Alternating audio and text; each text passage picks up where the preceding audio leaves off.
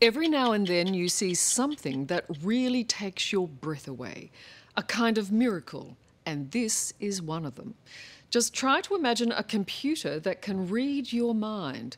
It's not some wild fantasy. I've tested it, and to my astonishment, it works. The computer knew exactly what I was thinking. But that's just the beginning. This new technology can mean a whole new life for those suffering from locked in syndrome people trapped in their own bodies who can't move or say a word. I've seen them actually write emails, send texts, and even speak using nothing but their thoughts.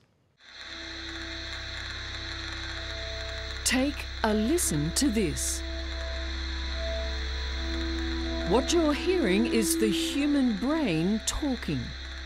That crackling is uh, the, the sound of the, the neuron popping Brain waves communicating with a computer, telling it what to do next. Basically, we connect the brain to the computer, and you can operate a computer only using your thoughts. It's 21st century mind reading, medical science that's giving a voice to those who cannot speak. I can work independently. Open. And even movement to lifeless limbs. Open. As I was about to discover, in this new age of neurotechnology, almost anything is possible. That is amazing, isn't it? Yeah. Hello, Joshua. For people like Marie-Therese Khan, this new science could change their world. That's your little brother. At 35, Marie-Therese had just given birth to her third son.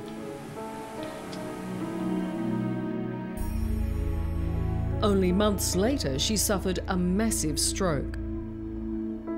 Even though her intelligence and memory remain, she can only communicate through blinking. One, two, H, children. One. Every two, word three, must be painstakingly spelled out, letter by letter. I, one, Marie Therese, can you describe what it's like to be locked in? one, two, three, four, five. T, V, one, two, three, A, E, one, two, three, four. R, very, one, B, C, D, F, V, W, X, Y. Annoying. She says it's frustrating and sometimes annoying. That's an understatement. Marie Therese's eldest son Luke was six when his mum suffered her stroke. Luke, I think you've said that you've tried to understand what it must be like for your mum. A lot of times before I go to sleep, I think this is what mum goes through, and she doesn't get up, and and you do kind of imagine yourself in that position, and would you smile? Um, well, she she smiles and laughs more than I do. What would it mean to your life to be given back your voice? A E one two three four five T V W Y everything. That's it. Yeah, easy everything.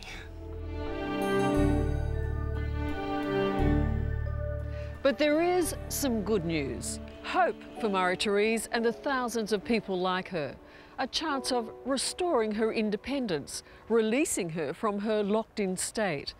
Here in America, half a world away from Dubbo, scientists are making some extraordinary discoveries. They've developed technology that allows computers to read minds. And for those who've had to live in silence, this technology is proving to be simply astounding. People like Scott Mackler. This is how Scott starts his day. Yes, yes. Um, Though completely immobilised and unable to speak, Scott has gained the ability to communicate through thought. Not only that, incredibly, he's resumed his job as a neuroscientist at Pennsylvania University. How has the ability to communicate independently changed your life? I am independently organizing my research. If I couldn't work, how could I survive? We are in the enviable position of loving our jobs. It's called BCI, Brain Computer Interface Technology. In short, a cap that records brain signals. Scott can spell out words just by thinking of them. I can work independently. The computer gives them a voice. It gave him his independence back. He was getting so frustrated. So, him having his independence back, especially for his work, it made him happy again. So, what drives you, Scott? My family and work. In that order? Yes. Good answer. Scott was once a fitness fanatic who loved running marathons. A family man, married to Lynn with two sons. Here I am with my beautiful wife on Mother's Day.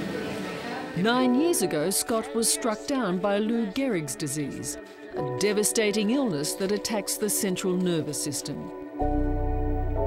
And I love you very much, and I'll see you. Within months, Scott was totally locked in, his sharp mind trapped inside a paralyzed body.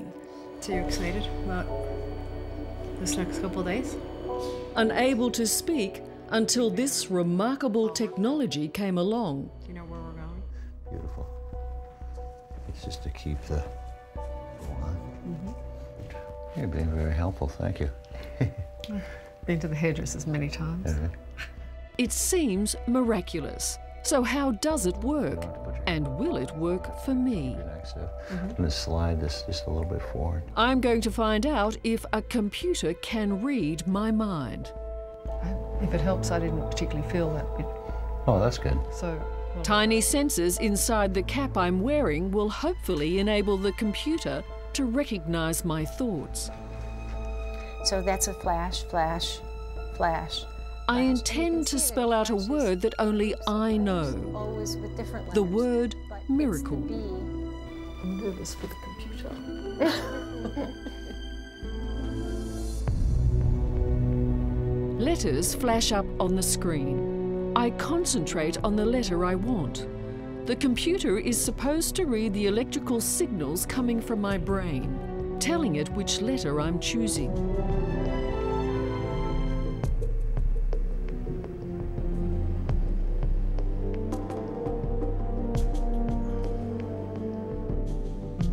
And amazingly, it does.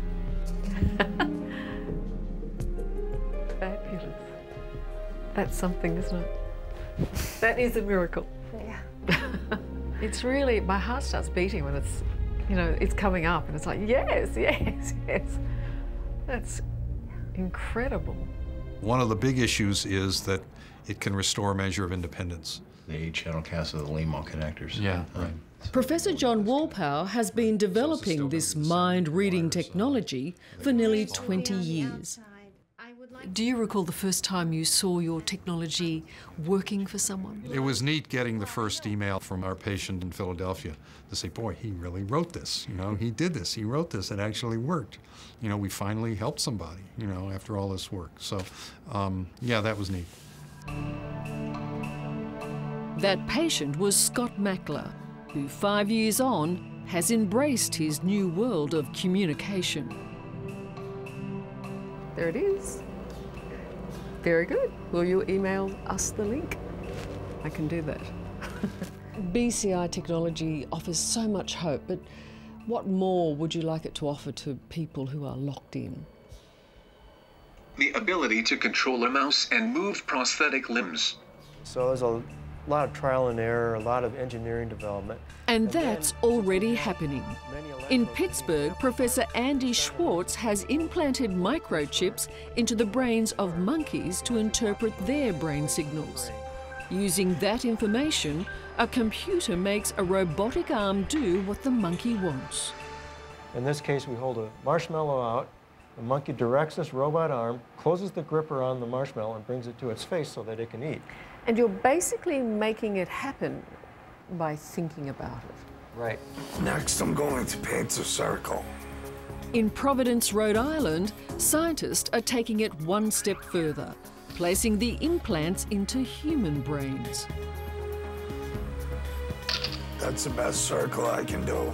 Professor John Donoghue has developed what's called BrainGate. A sensor smaller than a contact lens is placed on the part of the brain that is responsible for movement. It is decoding the language of the brain. That's exactly what we call it, decoding the brain. The sensor records electrical signals from the brain and a computer puts them into action. And soon the whole system will become a whole lot smaller. Here's a prototype of a device that's being developed where it has the same kind of tiny sensor that's in the brain, and then the signals are fed up to this little wafer of electronics that goes under the skin. It's not unlike a cochlear implant. It's very much like a cochlear implant. Next, I'm going to turn on my television. The television is on. Already, BrainGate has enabled users to control a computer mouse, Can you make it go forward? move a even seeing the wheelchair, I'm going to close the hand. and even a robotic hand. Again, just by thinking about it. Not bad, man. Not bad at all. I think the next step, and something we're actually working on, is to recreate a physical nervous system, a bridge from the brain back to the body. That is such a paparazzi camera. For Marie-Therese Khan, such technology could finally reopen her world.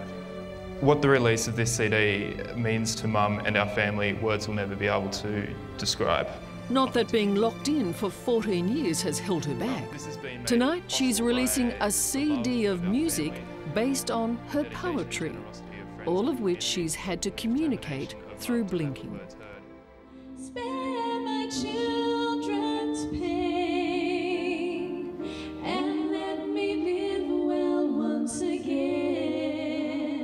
I don't think I'd have the understanding of some of life's more perplexing matters than I do uh, having been around someone like Mum.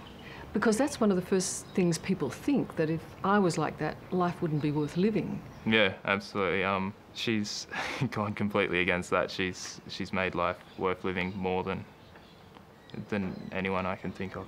Four, five, T, H. Thank you.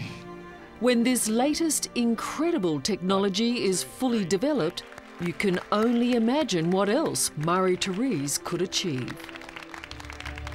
The fantasy is that one day you're playing basketball and the person with you said, oh, two years ago I had a terrible car crash, I had a spinal cord injury, but, but now I'm fine. Now I'm able to play basketball. Hello, I'm Tom Steinfort. Thank you for watching 60 Minutes Australia. Subscribe to our channel now for brand new stories and exclusive clips every week. And don't miss out on our extra minutes segments and full episodes of 60 Minutes, which are on 9now.com.au and the 9Now app.